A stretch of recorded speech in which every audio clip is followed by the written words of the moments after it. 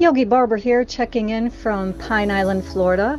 I left and moved across the country with faith in my sketches and decided to bring my clothing line to life, Yogaz brand.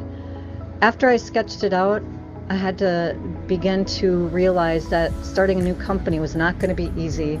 Um, but I believed in myself. I put out my product on tables and started out small. Uh, friends and family supported and believed in us, so we kept moving forward.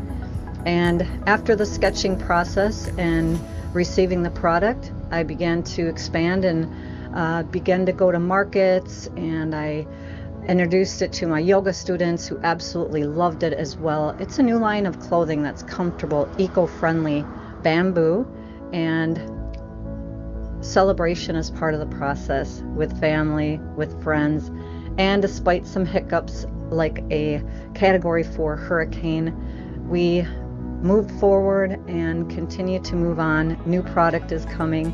So I invite you to come and visit us at Yogaz brand, uh, yogaz.com. That's Y O G A Z.com. And I guarantee you are going to love it. I have repeat customers coming back time and time again. It's the most comfortable clothing they've ever worn. Go ahead, give it a try.